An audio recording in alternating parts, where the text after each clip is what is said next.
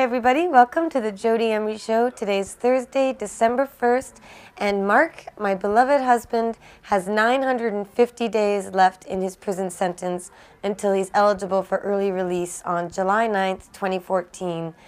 On December 4th, I'm celebrating a decade long anniversary of sorts.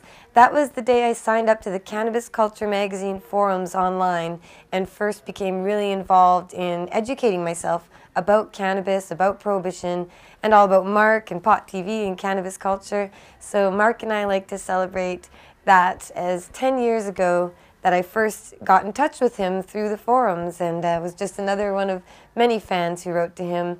And I guess at that time I was really uh, laying the groundwork for my future because who knew that 10 years later I'd be where I am today and uh, going through what I am with Marc. Uh, but we're staying strong thanks to everybody's continued support.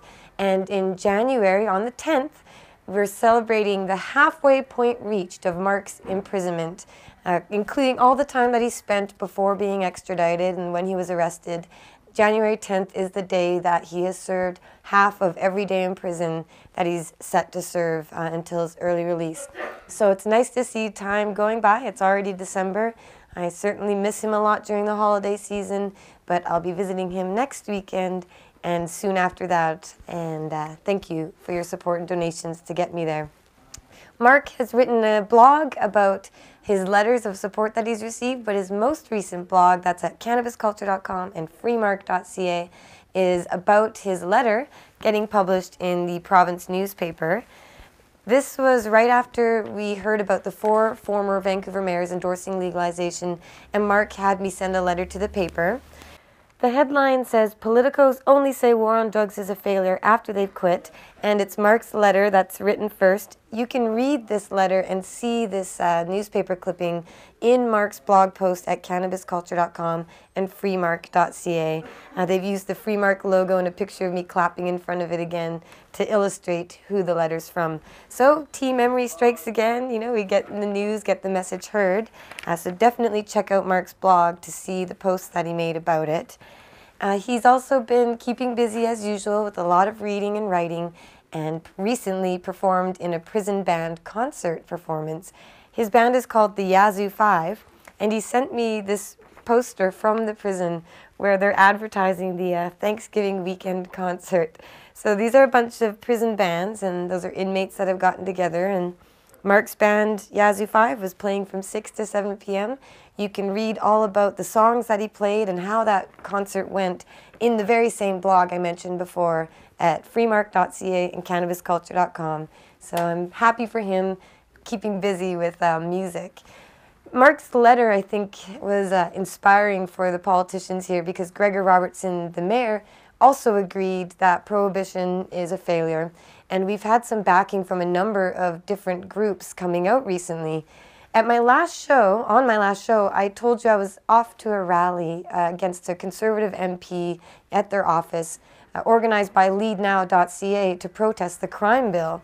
So I went to that event and met some other people, and that was fantastic. We uh, got our message heard, and there are a few photos of that online at facebook.com slash Jodie Emery and at cannabisculture.com. You can see articles too. And while I was at that rally, I got a news tip from an old friend in the media who said that Stephen Harper, the Prime Minister, was coming to town the next day on uh, Friday. So we quickly got some signs made. We went to Science World where Stephen Harper was meeting with Christy Clark, the Premier of BC, and we protested against prohibition and the crime bill. And he even drove by just a couple feet away from us. Uh, we got some photos of it, shaking his head through the window at our very reasonable messages. And Christy Clark, the Premier, who follows me on Twitter, got a little tweet from me saying, Prime Minister Harper disagrees, but Christy Clark, she knows better. So she understands, but money is very uh, attractive, and unfortunately, she's looking for a lot of that from the federal government to cover this crime bill. But we'll continue to protest, we'll continue to get news coverage. There was a lot that came out of that event. Uh, if you go to cannabisculture.com, I actually posted a blog with all the news tidbits where our message was quoted there. Uh, Mark wanted me to back up his blog with all the media coverage, so you can find that all at cannabisculture.com. As I mentioned, we are having a lot of organized groups come together to fight this crime bill and to fight against prohibition. I've told you about Stop the Violence BC, which you can see at stoptheviolencebc.org. And there's a new group that just got launched called the Canadian Drug Policy Coalition. It's headed by Donald MacPherson, who's a great man who's done a ton of wonderful work for our cause and just the cause of harm reduction and and progressive reform. So he's bringing together as many people as he can to join this group calling for an end to prohibition and a health based approach to drugs instead of a criminal approach to drugs. Uh, they've been in the news a lot, and I went to the press conference and we got uh, some news coverage out of the Metro. So the headline is goofy New group not high on drug prohibition. But the subhead there says Prince of Pot's wife pleased that more are on board to end prohibition and I got some quotes in there. I'll put it put it up on Facebook, and you can check it out there at facebook.com/slash Jodie Emery. But suffice to say, we are getting our message out there in the news, and that's a great thing to do. That's what we continue to try and do all the time. If you haven't yet checked out my Sun TV news interview, I was invited onto the Conservative News Network this week, and I got a good six-minute segment with Michael Coren on his show The Arena. Uh, it's uploaded at Pot TV Network on this YouTube channel that you're watching now, and you can see it at cannabisculture.com. It was quite an interesting discussion there. A conservative television network, it's like Fox News North, but if you tune in and watch it, uh, let me know what you think. Other people said I did a pretty good job of explaining why conservatives should be against prohibition too. Um, so definitely check that out. It's good to get our message into the news. There's another group called NORML Women, NORML Canada Women's Group, and this is just starting across Canada. There's going to be a meeting on Wednesday next week, December 7th, at the Vancouver Seed Bank Vapor Lounge. That is at 872 East Hastings. I'll be joining with other women, and we're all encouraged to bring our big floppy hats to uh, kind of emulate the women's movement against alcohol prohibition. So come to that if you're in Vancouver. You can find out some details on my Facebook page too. I'll post some links to that so you can stop on by or maybe organize one where you live. I have a little giveaway idea here. Our dear friend Jeff Tech, uh, the husband of our um, old friend Michelle Rainey, who passed away last year, has given me a bunch of Medicinal Michelle t-shirts and these are a limited edition v-neck white shirt and we have a whole bunch of them to give away. So I want to give five of these away to viewers of the show and the way that we're going to do this is you'll send an email to jodie at cannabisculture.com give me your address your name and the shirt size. We have small medium and large and this one here is a large but send me an email, and next week on my show, I'll draw from everybody's names, and I'll only read the first name and where you're from. And then we'll ship out a t shirt to you to thank you for tuning in and thank you for spreading the message, and to remember some of the women, including Michelle, who have come before us to fight this fight that we continue to carry on. So Jodie at cannabisculture.com, and every show I'm going to do a giveaway, free marc t shirts, and other little goodie packs. So thanks for tuning in as always, and share this link with your friends.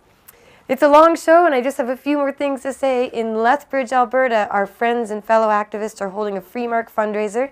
I mentioned it uh, two shows ago, but we'll put the information down below under the video. It's this Saturday. It starts at 7 p.m. at the Moose Hall in Lethbridge at 1401 Fifth Avenue. And we have uh, giveaways, raffle prizes, there's food, music. So go to my Facebook page again at facebook.com slash Jodie Emery for details on that. I'll be sure to post it. And um, if you would like to hold an event for Marc, please do so. We always appreciate the support. I'll send out some goodies if I'm not able to attend. And it's uh, awesome that people are continuing to push Marc's message and remind others of what he's done and what we continue to do. And with the holidays coming up, Cannabis Culture online store has decided to get rid of the shipping costs in North America. So from all, the month of December and onward, uh, we are giving free shipping on orders in North America. We're also doing a 10% off sale on everything in store except volcano vaporizers, which we've already reduced by up to $100. So 10% off everything else in store at Cannabis Culture Headquarters, 307 West Hastings Street, downtown Vancouver, and online at cannabisculture.com slash store. We're just doing those changes today, so if you go online and you want to see what we have in store, uh, the, de- the deals and discounts might not kick in until tomorrow or in the next couple days, but we're happy to serve our customers, and thank you so much for supporting cannabis culture. Uh, we're keeping our culture alive and thriving, and I thank you for helping us do that. That's pretty much everything I have to say today. I've got my notes I'm going to tell you. I've got a lot to say, but thanks for tuning in, listening to the message, spreading it around yourself, and always remember to support organizations and individuals who are helping others and trying to push our movement forward, even if you don't agree with them on everything, because who agrees with everything on anything? Be sure to support them where you are on the same page, and we'll get our message out there and we'll make some progress a lot faster. Thanks for tuning in. Go to cannabisculture.com and Pot TV and spread the word around. And free Marc Emery.